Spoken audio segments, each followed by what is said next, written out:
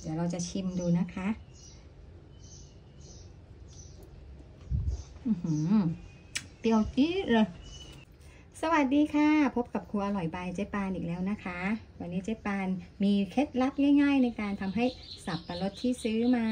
รสชาติเปรี้ยวมากๆทำให้หวานฉ่ำขั้นตอนแสนง่ายเลยค่ะ เดี๋ยวมาดูกันเลยนะคะ วันนี้เจ๊ปานได้สับปะรดมาหนึ่งลูกค่ะ ลูกใหญ่ด้วย ไม่รู้ว่าหวานหรือเปรี้ยว ดี๋ยวเรามาพิสูจน์กันเลยค่ะ เราจะเริ่มจากหั่นหัวหั่นท้ายก่อนเลยนะคะ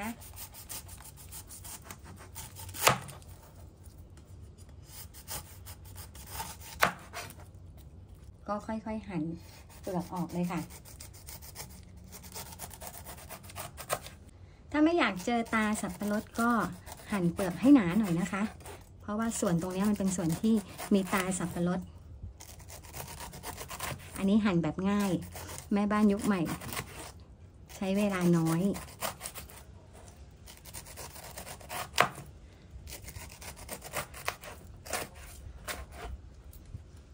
แล้วก็เฉือนบริเวณที่เป็นเปลือกทิ้งเลยค่ะ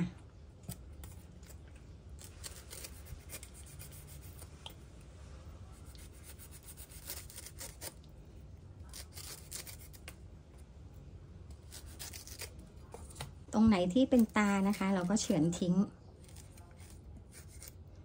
หั่นแบบกินเองนะคะ เอาง่าย ๆ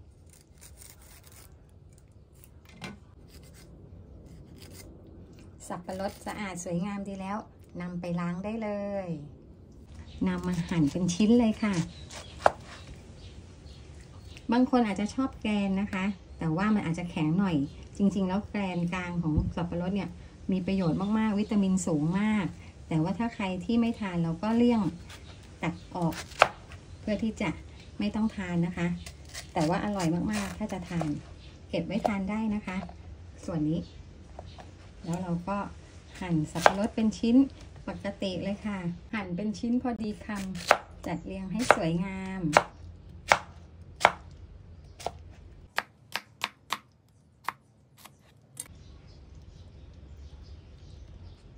หั่นสับปะรดเสร็จเรียบร้อยพร้อมทานแล้ว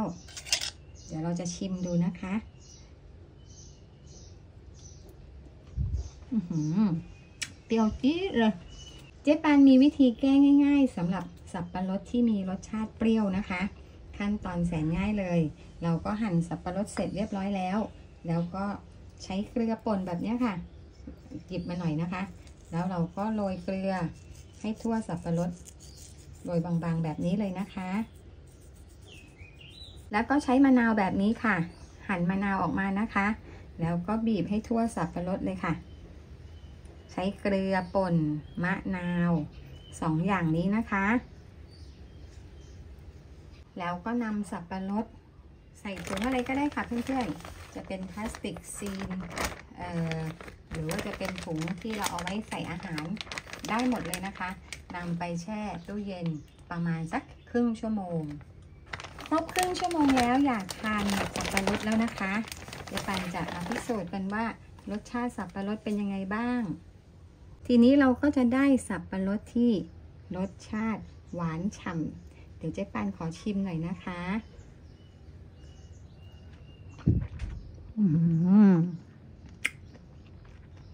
อร่อยมาก ๆ